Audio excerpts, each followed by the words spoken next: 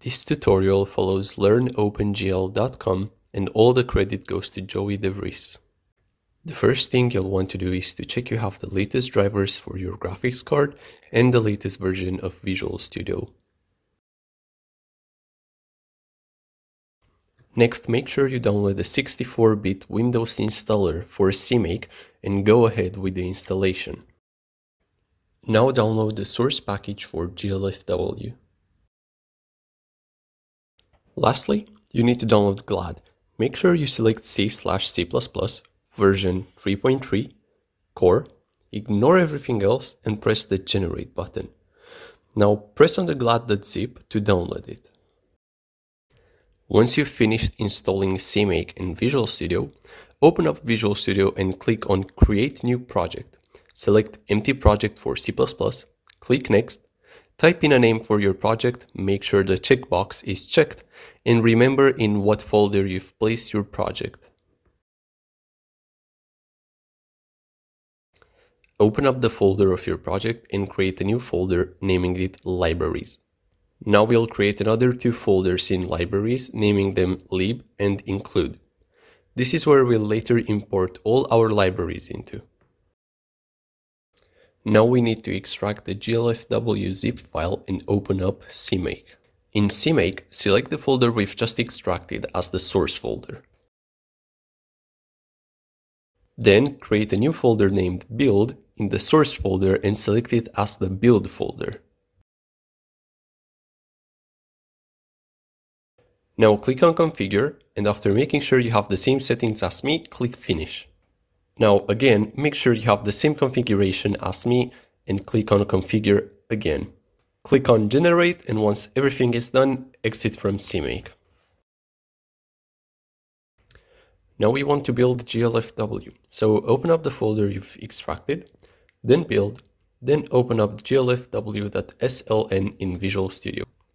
Right click here and select Build Solution. If this gives you any errors, it probably means that you've messed around with the build and we'll thus have to regenerate GLFW using CMake and follow this step again. Once your build finished successfully, exit from Visual Studio. Now it's finally time to import our libraries in. So open up the GLFW extracted folder and go into build source, then debug, and I'll cut and paste glfw3.lib into your lib folder that's inside your libraries folder.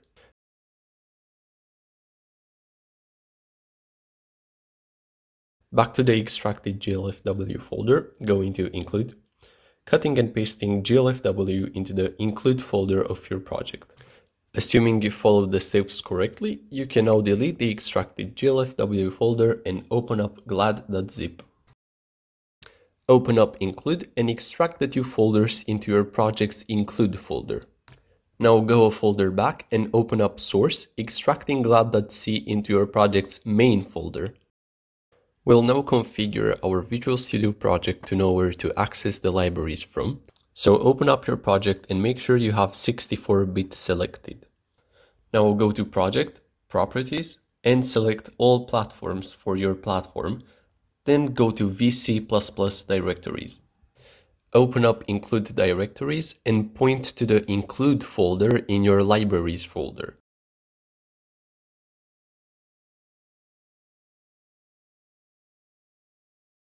Click OK and now do the same for your library directories with your lib folder.